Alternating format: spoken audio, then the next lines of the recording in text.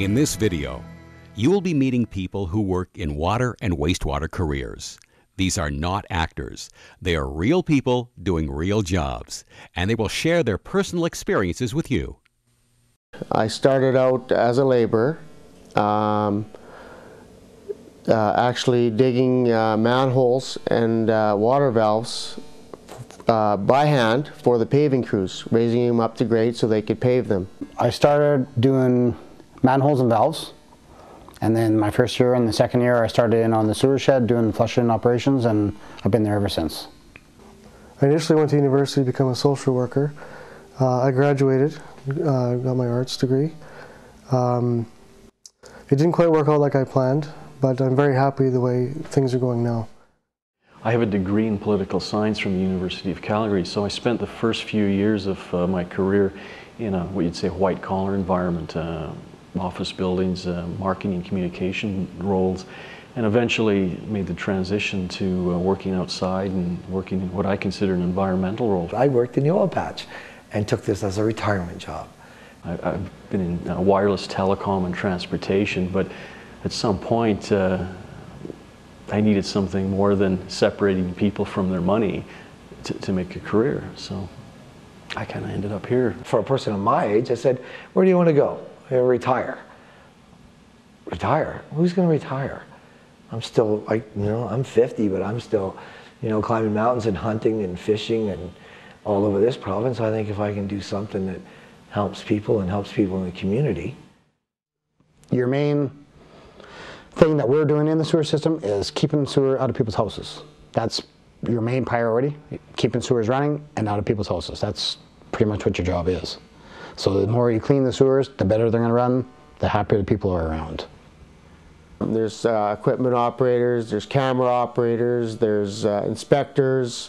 We do a lot of inspections uh, to the sewer system, both new and old, on a regular basis. I'll go into an area in the city and, and do a video inspection to uh, just find out, you know, the uh, condition of the pipe uh, to see if it needs servicing. But I've seen everything from flooding, helping people with sandbags, stopping the river from coming into their home, to, you know, showing up at people's homes, unfortunately, when, you know, the sewer is backed up.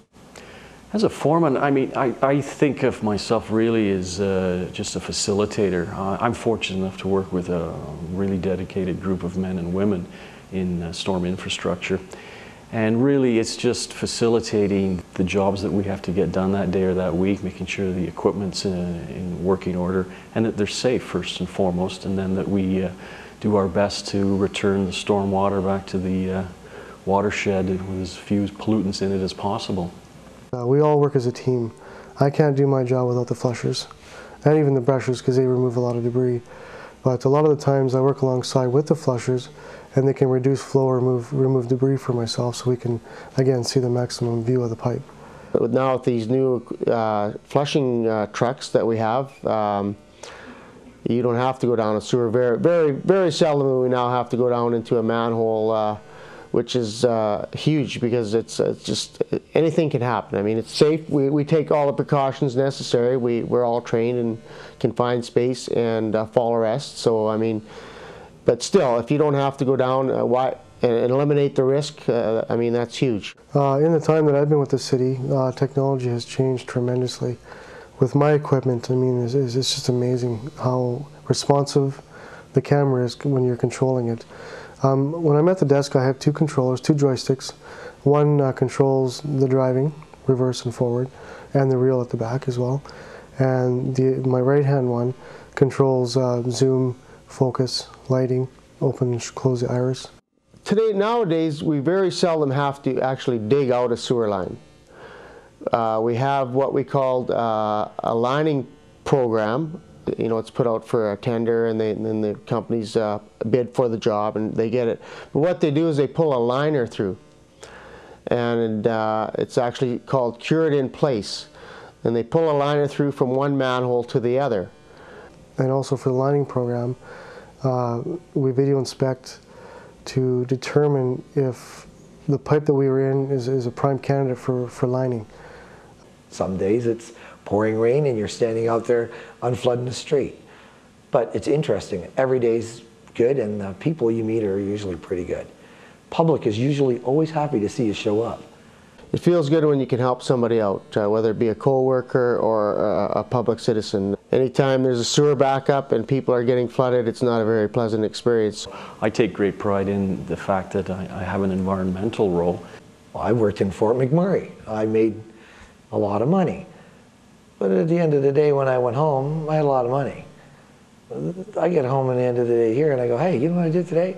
There's some old guy and his toilet was backed up and he's like 85 years old and I got to do that and fix it and they go, cool. And the pay's pretty good. I mean, they pay you pretty good and the benefits are really good.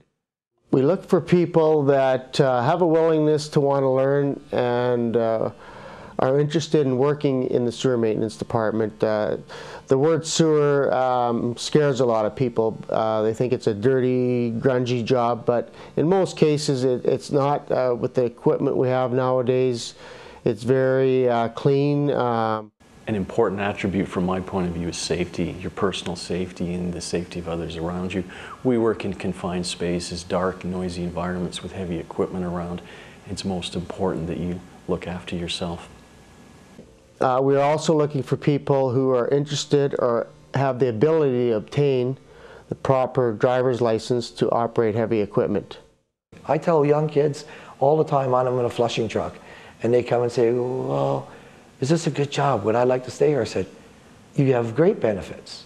You get to make a difference. You get paid well. And here's the best part. They educate you to whatever you want. You want to run a backhoe? Here's the course. You know, we have a joke here. It's don't cry, apply.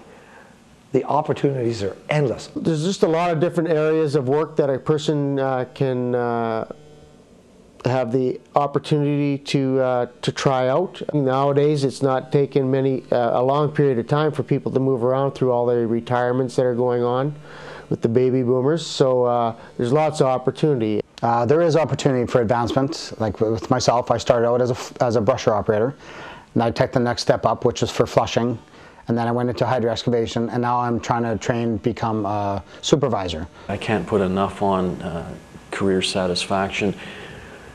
You work for a living to bring money home, to have a house and look after your family. If you can combine that with something that you feel really strong about ethically and environmentally, it really uh, wraps the whole thing up nicely. If you think that you'd like to be a water and wastewater professional, and you want to know more, then check out the online Career Center at the web listed at the end of this segment.